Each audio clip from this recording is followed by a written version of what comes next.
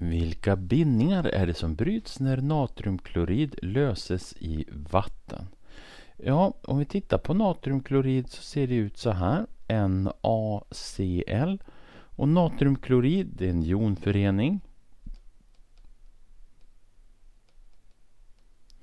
Och när en jonförening då löses i vatten så måste bindningen mellan natriumjonen och kloridjonen brytas.